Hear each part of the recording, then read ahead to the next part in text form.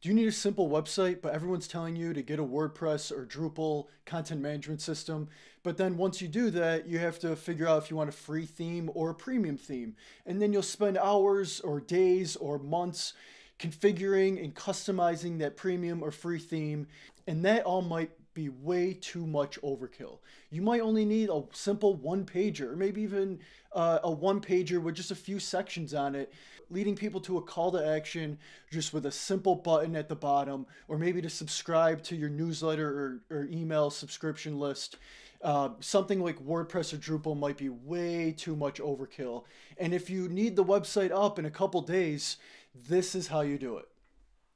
So after you click on the link below that has the special deal on website hosting, it'll take you to the Bluehost website and it will look different uh, depending on what when you go there. But this at the top, they'll say $2.95 a month uh, once you click on that link uh, that will have the automatically applied coupon.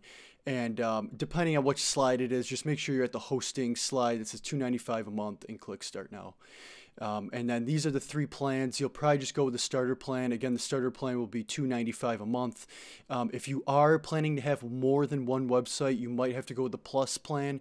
Uh, but for now, I'm just assuming you're just going to have one website, um, and I would just go with that starter plan. Um, you, you know, you get 100 email accounts. I think that's plenty. Uh, but choose whatever account you want or package you want. And if you already have a domain name, this is where you're going to type it in. I'm assuming you don't have a domain name, so I would suggest to use your company name followed by uh, maybe the state code that you're in if that's not available or something related to your company name. And click next and make sure that's available.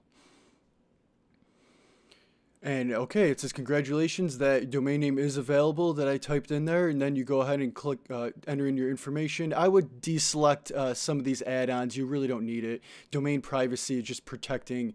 Um, it's just not making your information public. Um, if you want that, go ahead and click anything you want. Um, and you could click more information to find out more about those. But I unchecked them all. Uh, you go ahead and enter in your credit card number and, uh, and click next. And then uh, once we're set up, go ahead and click FTP at the top and they will automatically create an FTP account for you. Uh, you'll probably see it under here at the bottom at special FTP and on the right click configure FTP client. Just make a note of this information here or just leave that page up. And we're going to use that information later to transfer our files. And to do that, we're going to use FileZilla. So you can Google FileZilla and you want to download the client, not the server. So if you have Windows or a Mac, uh, choose whatever one's appropriate. And when this pops up, go ahead and save and install the FileZilla program. Uh, just open it up. You're going to open up FileZilla, click on that icon to the top left, and then you can click on that new site button because you won't have any sites there. Name it whatever you want. And then here's where uh, you go back and see where it says FTP server. Paste that right where it says host. And then for login type, we're going to do normal. And again, there's your FTP username. So then just copy that and paste that in where it says user. And then you're going to enter in your password used to create your account. And then if this doesn't work, you should be able to connect like that. If it doesn't work for some reason, click on use plain FTP under encryption. Um, I found sometimes it works, sometimes it doesn't, but that's usually the, the case there. And now you have it saved if you just hit OK. But then if you go back, you can actually click on that account and click connect.